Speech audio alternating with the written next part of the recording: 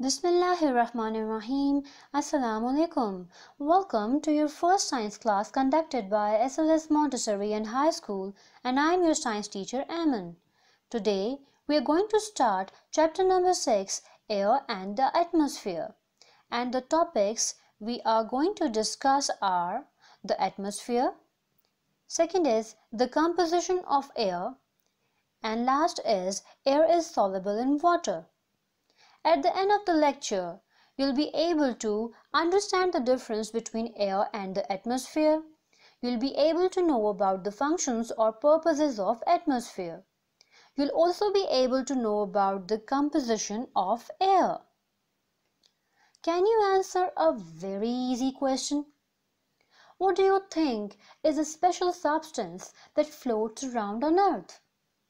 It can't be seen, but can be felt we can swish our hand through it. It allows all of us on earth to breathe. Yes, it's air. Air is a mixture of gases with which living things live and breathe. If this is air, then what is atmosphere? Atmosphere is a blanket of air or a thick layer of air that surrounds the earth, as we can see in the picture. Surrounds mean to be everywhere around something. Everything has a specific purpose. Nothing is useless. Atmosphere performs many important functions. Let's have a look. Atmosphere acts as a filter. If it is so, then why? First of all, let me tell you what is a filter. A filter is a device for removing impurities or any unwanted material. Here we can see a sieve or a filter. The most common example is while preparing tea, a filter or sieve is used to separate tea leaves from the liquid. Through the sieve, only liquid passes out. The same way, Earth's atmosphere acts as a filter and filters the harmful rays of the sun.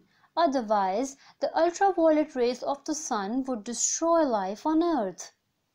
Meteorites burn up by friction. Do you know what are meteorites and why they burn up? Meteorites are large irregular shaped heavenly bodies that orbit in space. When they come out of their orbit, they face the friction of atmosphere before reaching the earth. Now you must be thinking what is friction? Friction is a force that slows down or stops the movement between two surfaces that are touching and produce heat. For example, when we rub hands, friction is produced. Produced the same way. They burn up and break into pieces. As a result, cause less destruction or damage to the earth. Atmosphere acts as a sunshade. Sunshade is something used as a protection from the rays of the sun. For example, umbrella and canopies are used as a sunshade. The same way, atmosphere prevents the earth from becoming too hot during the daytime. It also acts as a blanket. As blanket provides us warmth, Atmosphere stops the earth from getting too cold at night because there is no sunlight at night time. Now look at this picture. Here we can see the five layers of atmosphere. Troposphere, stratosphere, mesosphere, thermosphere and last is exosphere. 15 kilometers above the ground level, the atmosphere is dense or thick. It means in the first layer, that is troposphere. As it extends upwards or we move away from the ground level, this thins out as we can see in the exosphere. The next topic is the composition of air. Composition means the components or ingredients which make it up. Now look at the pie chart. On the screen showing the composition of air. As air is a mixture of gases, all of them have different percentage by volume. Volume is the amount of space that a substance or object occupies. In the pie chart, we can see that nitrogen forms the largest part.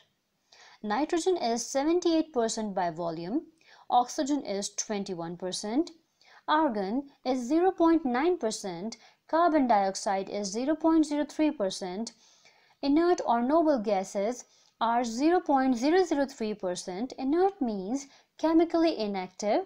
So inert gases are those gases which have no ability to react. And water vapor are in variable amounts means the amount of water vapor keep on changing. Like the air near seashore will have more amount of water vapor because more water vapor evaporates from sea and make the air moist or humid. Now what is this term humidity? The amount of water vapor in the air is called humidity. Here we can see that something is burning and filling the air with smoke thus increasing the percentage of carbon dioxide in the air. So we can say that composition of air can be different from place to place. One of the properties of air is when gases of air are mixed together, they don't react chemically nor they form any new gas. The next topic is air is soluble in water. Soluble means which dissolves easily. It means air dissolves easily in water. Can we check it out? Yes, we can check it out through an experiment. If we boil water in a glass beaker or in a saucepan, the air tries to escape from water and form bubbles. This indicates the presence of air. Now come to the book pages, page number 57 the topic is the atmosphere. Now start highlighting the lines starting from second line till fourth line under the heading the atmosphere. Now highlight the seventh line and ending till tenth line.